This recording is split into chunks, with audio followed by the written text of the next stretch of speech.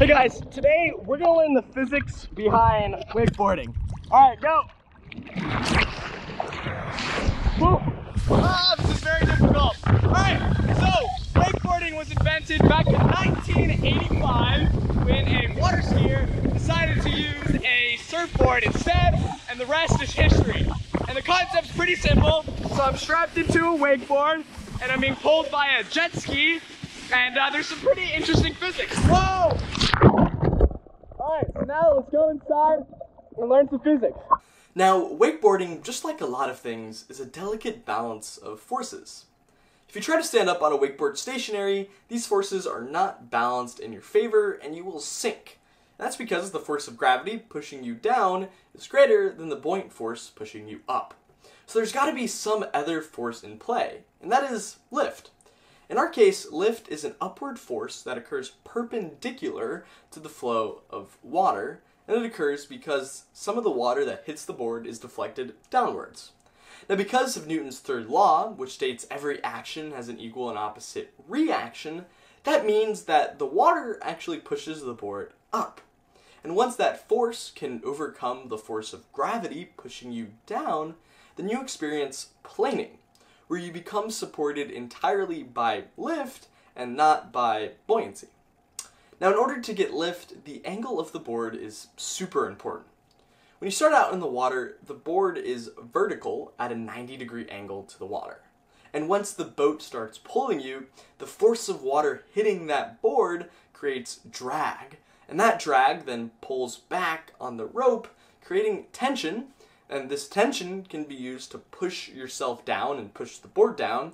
And as you push down and get a lower angle, some of that water is diverted downwards, which in turn pushes the board up, creating lift. So once the weight of water being pushed down is greater than the weight of the wakeboard and the wakeboarder, then you'll be able to stand up. And we can actually try to do a rough calculation to see the minimum speed that would be needed for me to get up on the wakeboard. So first we need to find the force of gravity pushing me down. We know the acceleration of gravity to be 9.81 meters per second squared, and if we assume the wakeboard and I together have a mass of 75 kilograms, that means we need to overcome a force of 735.75 newtons. Now, to find lift, we need to calculate the weight of the water pushing against the board, which means we first need to know the density of water. And for salt water, that is 1,025 kilograms per square meter, and then we multiply that by the area of the board and the velocity squared. Now, this would be right uh, for the total force of water pushing against the board.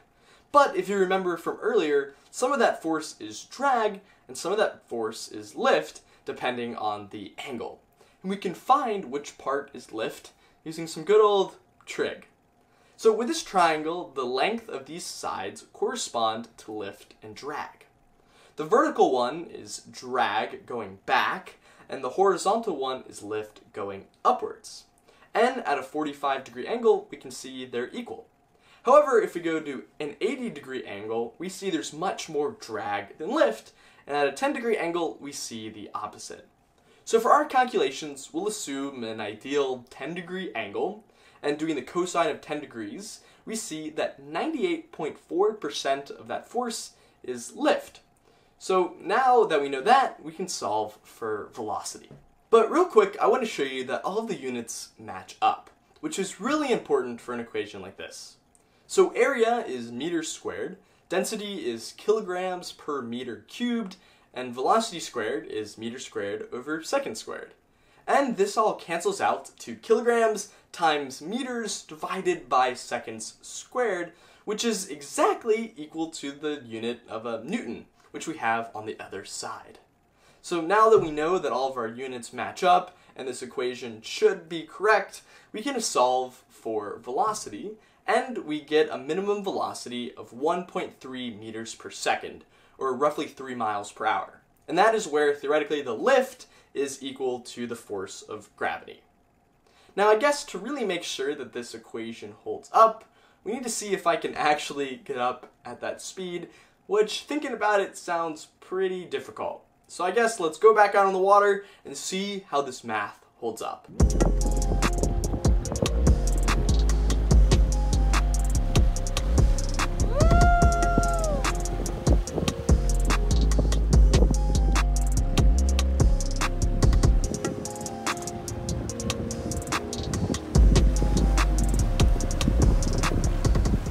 Well, I was almost able to get up at 3 miles per hour, but I was able to get up at 4 miles per hour. And I think that is well within the margin of error for not very scientific YouTube experiments.